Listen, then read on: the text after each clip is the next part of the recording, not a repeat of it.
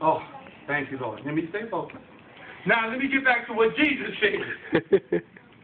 Jesus said in John 3, you must be born again. So tell your neighbor, you must be born again. Must be born again.